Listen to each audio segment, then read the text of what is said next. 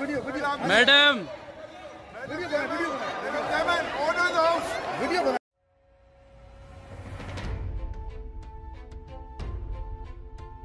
ਪਾਕਿਸਤਾਨ ਦੇ ਸੂਬਾ ਸਿੰਧ ਅਸੈਂਬਲੀ ਦੇ ਅੰਦਰ ਪ੍ਰਧਾਨ ਮੰਤਰੀ ਇਮਰਾਨ ਖਾਨ ਦੀ ਤਹਿਰੀਕੇ ਇਨਸਾਫ ਪਾਰਟੀ ਦੇ ਨੇਤਾਵਾਂ ਦਾ ਆਪਸ ਵਿੱਚ ਬੁਰੀ ਤਰ੍ਹਾਂ ਨਾਲ ਟਕਰਾਅ ਹੋ ਗਿਆ।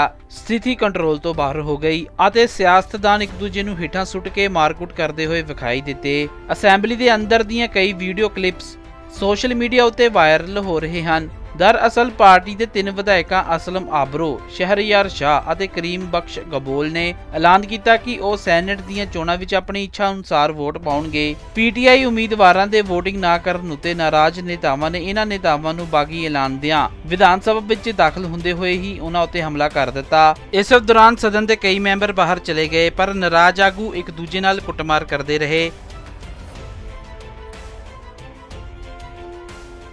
ਦੇਸ਼ ਦੁਨੀਆ ਦੀਆਂ ਤਾਜ਼ਾ ਖਬਰਾਂ ਦੇ ਲਈ ਹੁਣੇ ਪਲੇ ਸਟੋਰ ਤੋਂ ਡਾਊਨਲੋਡ ਕਰੋ ਪੰਜਾਬ ਦੀ ਆਵਾਜ਼, ਅਜੀਤ ਨਿਊਜ਼ ਐਪ।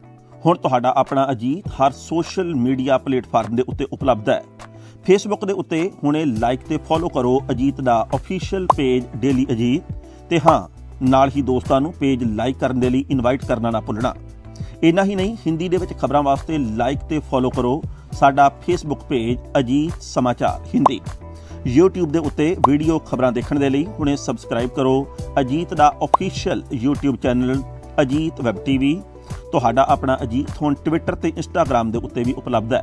ਟਵਿੱਟਰ ਦੇ ਉੱਤੇ ਖਬਰਾਂ ਦੇ ਲਈ ਫੋਲੋ ਕਰੋ ਡੇਲੀ ਅਜੀਤ ਤੇ ਇੰਸਟਾਗ੍ਰam ਦੇ ਉੱਤੇ ਖਬਰਾਂ ਦੇ ਨਾਲ ਨਾਲ ਵੀਡੀਓ ਦੇਖਣ ਦੇ ਲਈ ਫੋਲੋ ਕਰੋ ਬਲੂ ਟਿਕ ਵਾਲਾ। ਸਾਡਾ ਅਫੀਸ਼ੀਅਲ ਚੈਨਲ ਡੇਲੀ ਅਜੀਤ ਇਹਨਾਂ ਹੀ ਨਹੀਂ, ਅਜੀਤ ਦੇ ਵੀਡੀਓ ਹੁਣ ਤੁਸੀਂ Apple TV ਦੇ ਉੱਤੇ ਵੀ ਵੇਖ ਸਕਦੇ ਹੋ। ਤੇ ਨਾਲ ਹੀ ਅਜੀਤ ਅਖਬਾਰ ਦਾ ਡਿਜੀਟਲ ਐਡੀਸ਼ਨ ਪੜ੍ਹਨ ਦੇ ਲਈ ਡਾਊਨਲੋਡ ਕਰੋ ਅਜੀਤ ਈ-ਪੇਪਰ ਐਪ ਤੁਹਾਡਾ ਆਪਣਾ ਭਰੋਸੇਯੋਗ ਚੈਨਲ ਤੁਹਾਡੀ ਆਪਣੀ ਆਵਾਜ਼। ਪੰਜਾਬ ਦੀ ਆਵਾਜ਼, ਅਜੀਤ।